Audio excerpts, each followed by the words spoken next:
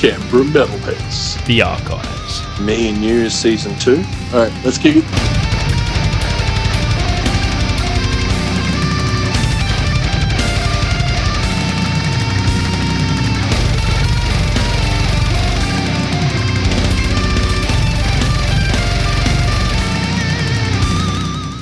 Welcome to Canberra Metalhead. You got Marky Malphas, and I'm joined here with the guys from Zeolite. So left to right, we got I'm Fraser. I'm the vocalist.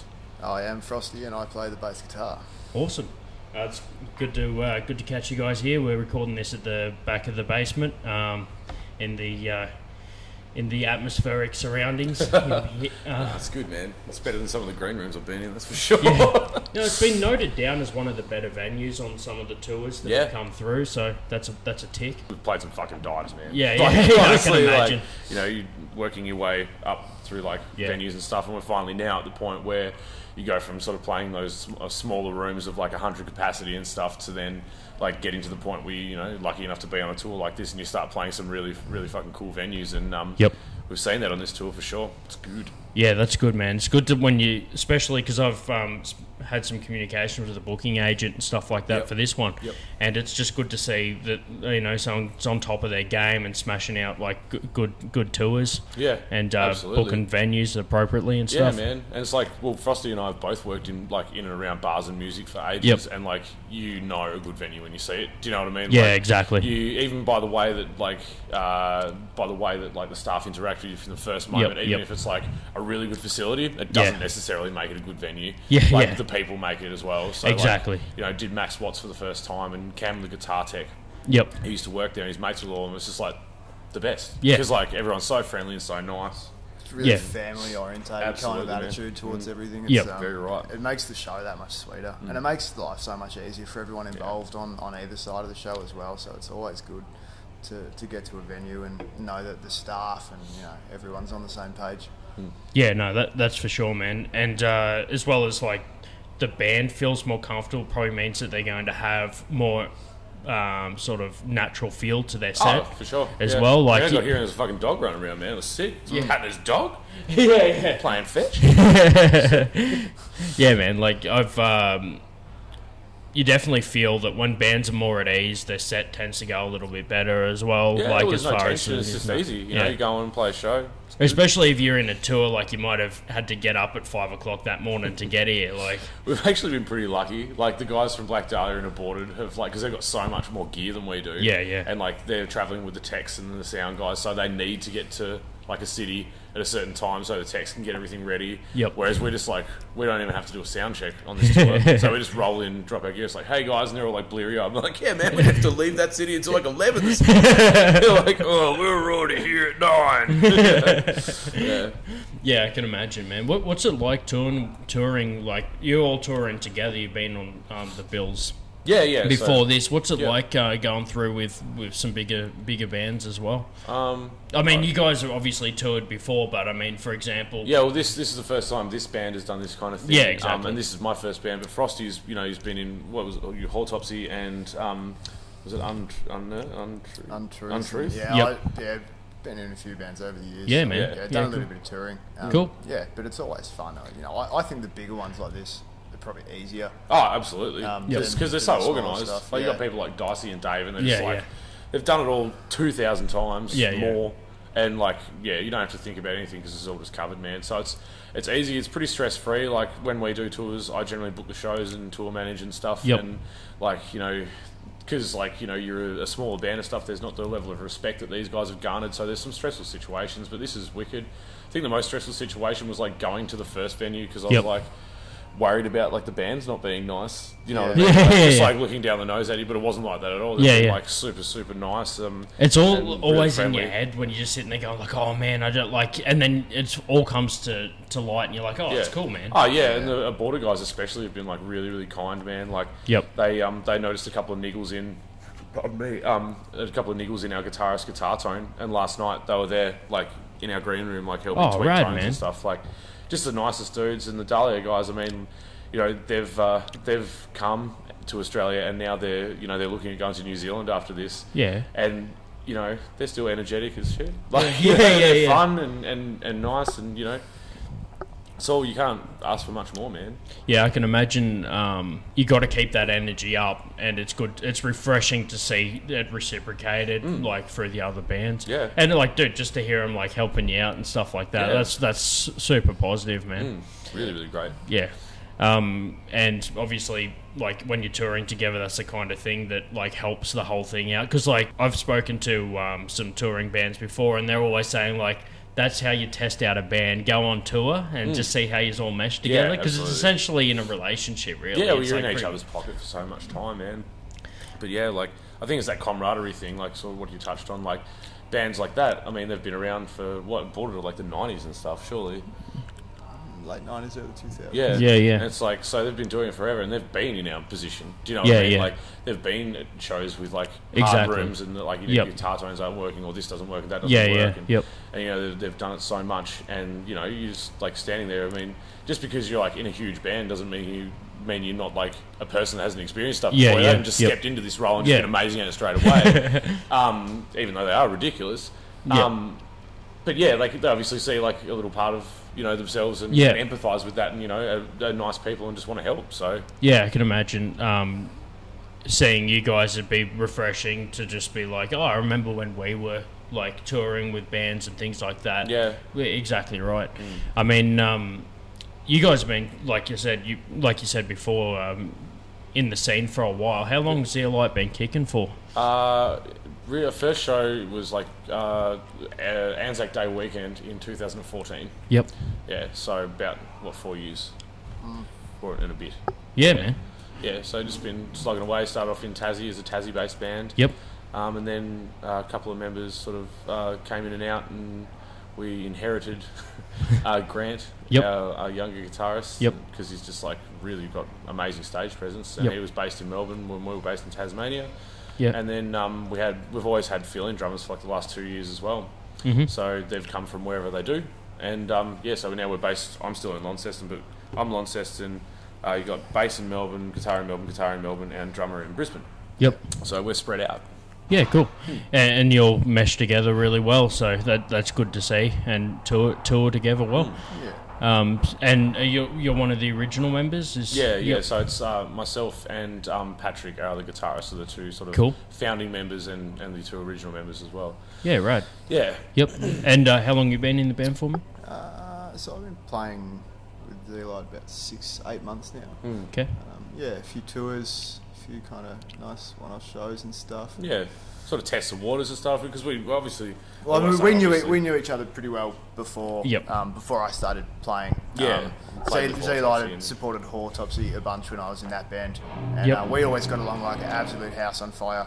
Clark Um, Kent incident. the Clark Kent incident. Yeah, we, yeah. So yeah, we, we got along really well. Is there a story there that I'm Not that missing we can out tell. on? Not that we can yeah. but it's Ah, a that's cracker. good. ah, that's good to know. yeah, got along really well, and, and you know these guys were, were looking for someone to play bass, and um, at that time I don't think I was I was playing live uh, in a band, and I was you know yeah awesome. They're awesome dudes. The music's cool.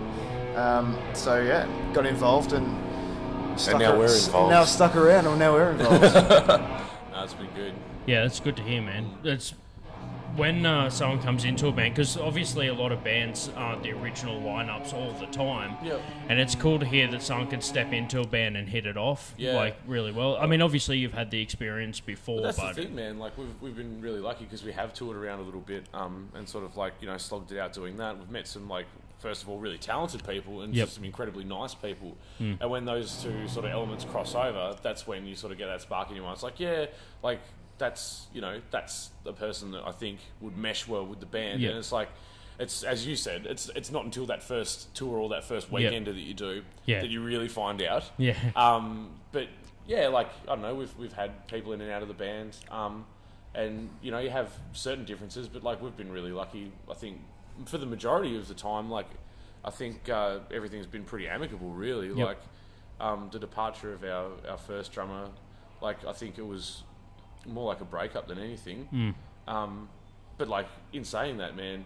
Like the last, uh, not the last tour, the tour before that played in Tassie, his his other band like played with us, and like still catch up with him, and you know it's it's a you know it's easy, it's good. yeah. No, that's that's good to hear, man. And And um, like you said, you pretty much in a relationship. Like like I said before, we're pretty much in a relationship. Yeah. So like you said, when someone departs, it's nearly like a breakup because you Oh, know, absolutely. there's a lot of emotion involved, as well as like metal's a fairly emotional. Um, Yeah, like it's pretty charged. yeah, it's yeah, it is. Like so, you've got all that as well on on the thing, um, and obviously, like being a singer, you see this this the presence of the crowd and things like that. Um, how's it been as you've been traveling around? You notice much difference between different crowds and things like that, or I don't know. The Hobart crowd was a bit ludicrous. Um, Yep. Simply just because I think because we're from Tasmania and like we've got a lot of friends down there. Yep. And I imagine Brisbane will be very similar. But all the shows, like, it's just been really positive, man. Like the reception's been great. Um, we didn't think it was going to be, you know, as, as the, the situation where people came out as early to see us play and stuff is what it. Pardon me. Sorry, I've got really bad reflux at the moment. Um, there we go. A little pat on the back. That'll Yeah. fix me right up. see, Cheers, look, Dad. we're experiencing the brothership right now. That's it. Um, but yeah, no, like yeah, people have been coming out early and getting into it, and then like Yep. you know, and then come over and grab some merch and stuff. It's all been like honestly with this whole tour from getting the offer to playing the shows, could not ask for anything more. It's been yeah, great. Yeah, Brad. That yeah, it's good to hear, man. Uh, good to hear that you're having fun with the tour, and Yeah. uh, and we are ta- talking earlier off mic um, that you guys sold out CDs already, so Yeah. like smashing smashing out some merch as Yeah, well. it helps, man. It really does. So yeah, we we're saying uh, like after the tour, that what's left will go up online. So yeah, so we, we were getting pretty. We, we did a big run of merch before the tour began. Yep. And uh, the first three shows in particular were really good sellers. So we Yep.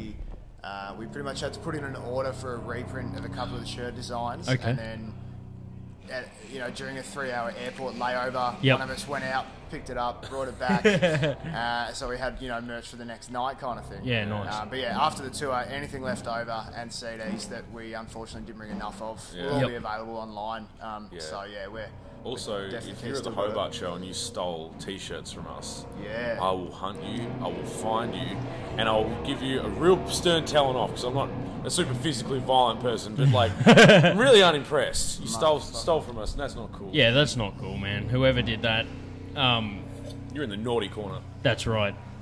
That's yeah, that's not how you make friends.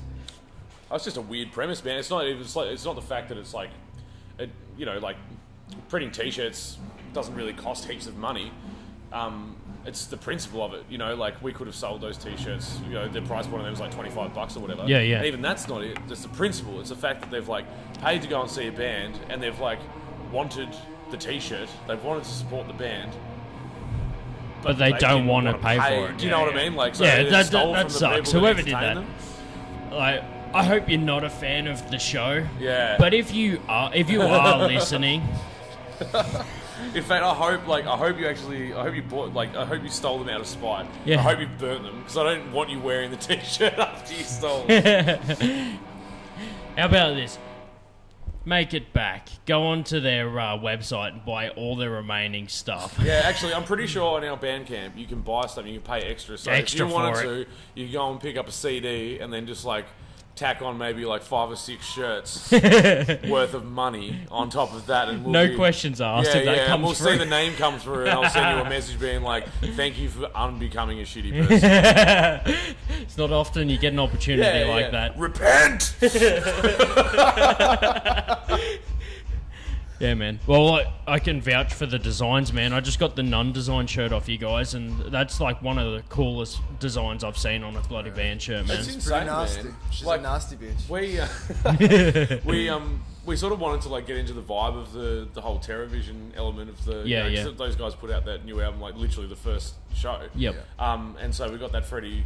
Um, Freddy Krueger t-shirt Yeah, done yeah. with the television, like that Yep. scene from Dream Warriors. Yeah, yep. I'm a massive Elm Street fan. Oh, dude, the metal scene just loves anything exactly, like. exactly. So we did that, and I was like, I, I was dead set. I'm like, that shirt is gonna be the one. Yep. And it sold really well, but that nun man, yeah, sold real good. That's actually that's a revamped old design that we did. We had it printed in grey instead of white. Yep. Uh, that was like one of the first T-shirts we ever did. Yeah. It was like I was on hoodies as well. Yep. Um, I actually and- picked one of those up the first night. I yeah, met you guys, exactly. Yeah. So we just like we just got our new logo put on it. Yep. Um, instead of the old one, and yeah, did a reprint, but it looks heaps more crisp in that white man. Yeah, man, no, that Yeah. looks sick. I'm, I'm, um, I'm excited to wear that one. I might even, uh, might even slip that one on Just over the weekend. Oh, The um, but yeah, anyway, no, it's uh, it's cool to see some good product and good merch, and uh, and also um, just to wrap that side of things up. Um, by the time you listen to this, it'll be a good time to head over to their website and see if they've got any of the um, any of the merch there,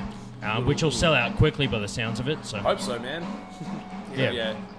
No, it should be good. So you can go to um, what is it? zeolite.bandcamp.com. yeah, And you can uh, listen to our music there, and you can buy products, and you can I think you can send us messages and stuff or whatever if you want. yeah, sweet. Yeah. We'll um, we'll chuck a link in the um, in the um, Facebook post for that Oh, one legend. as well. So. Thanks, man. Um, but yeah, no, it's rad to, rad to see you boys out here, and uh, I mean, I've been cranking your music um, throughout the day, just sort of Oh, yeah. prepping up for it and things like that. Sick, just cool, cranking some. Uh, you guys are on Spotify as well. I mean, yeah. I always encourage people to buy albums, Yeah. but uh, you know, while I'm sitting at work, it's uh, it's easy to just cruise through it on I the mean, phone. Spotify's just easy, man. Like, and it's a. I feel like it's a necessary evil. It's um, you know, if you want people to be able to listen to your music so readily, because Yeah. It's just everyone's moving to a streaming platform. It's just how it Yeah. is. So just go with the flow. Yeah. And hopefully, um, I think there was like a big, uh, big thing. Parliament put out like a suggestions thing, didn't they? Yeah. Like of how like we can change like the live music Yeah, industry. yeah. I think a big point that people pushed with that was, you know, changing how streaming is structured because it's like we get paid like zero point zero zero one cent a play on Spotify. Yeah, right. And like, you know, once you rack up some plays and stuff, it's like not horrible, but like it's still like it's not I feel, you know, what you deserve. Like it's hard. Like, yeah, it's hard. it's tough, man. And YouTube have especially changed their things. Like, Yeah. you, unless it's something like stupid, like unless you get like 36 hours Yep. of playtime on YouTube a week, you can't Yeah, even get royalties. Okay. So- yeah, I haven't looked too much into that. Just obviously being um, we our platforms that we use aren't Yeah. sort of um, Just a filthy casual. yeah, just exactly just a promiscuous like iTunes streamer. Um, A promiscuous iTunes screen.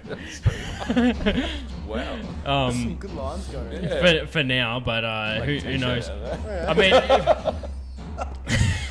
yeah, yeah. I mean, obviously, if YouTube's out there listening, still hit me up. Yeah, yeah. of course. But, Yeah, um, like, and if yeah, we- anyone on YouTube wants to fake 36 hours of fucking playtime on yeah, channel, yeah. like, I'm, I'm, nuts. yeah. I'm happy to uh, quickly do the math there and just know that I've probably contributed to about zero zero twenty cents to you. Yeah. you know, so- And we appreciate that. yeah, but um, you know, it's good good to see you guys out. And speaking of music, uh, we usually um, we usually wrap it up with a with a song. Do you guys have a, have a favorite song that we that we could play after the interview? Of our own? Of your own, yeah. Um, oh man. The, the, the favourite that I've got at the moment is like the one that we open with, but Yeah, it's not me too. recorded. So Yeah, um, yeah. yeah, we we open our set with two song, two new songs at the moment. Okay. But um, I don't know. I guess like uh, the one that we've got like out as a music video is Ruination, but I think my favourite is uh, Plutocracy, Okay. which is uh, what the last track, Second last. second last track. Yep. Okay. I don't even know the run track, run time, run alright. list even. Of I our- got you. I'm so Yeah. tired. Oh man, it- it's cool. Like I've seen bands um, play here, obviously not on the same scale as you guys, Yeah. uh, more local bands and stuff. Yeah. That like their set list will just they'll go over to their merch, grab one of their CDs, come over and just flip it over and just sit. I was playing through the yeah, set. yeah. That's what we actually did, man. When we did our um, our EP tour, we just played the EP, start to finish, and then uh, whacked onto old tracks. Yeah. Because the way the EP is written, it's um, there's heaps of flow to it. Yeah. Like, and there's like ambient stuff in between tracks and stuff. Yeah. Um, it just seems to flow. Well, we feel like it seems to flow quite well.